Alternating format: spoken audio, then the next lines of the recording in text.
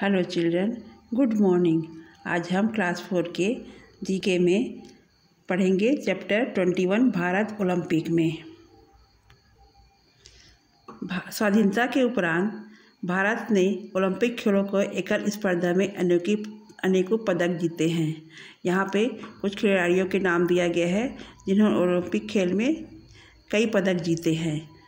आइए इसका नाम देखते हैं। ये है अभिनव बिंद्रा, जो शूटिंग में इन्होंने स्वर्ण पदक जीता है। दूसरा चित्र है राजवर्धन एस राठौर उसने 2004 के ओलंपिक में शूटिंग में रजत पदक जीता है। तीसरा है, ये है के महल्लेश्वरी ये 2000 में के ओलंपिक में भारोत्तोलन में कांस्य पदक जीता है। ये है लिएंडर पेस जिन्होंने टेनिस में उन्नीस सौ छियानवे में स्वर्ण पदक जीता है। ये है जे के डी जाधव, जो भारोत्तोलन में उन्नीस सौ बावन में स्वर्ण पदक जीता है।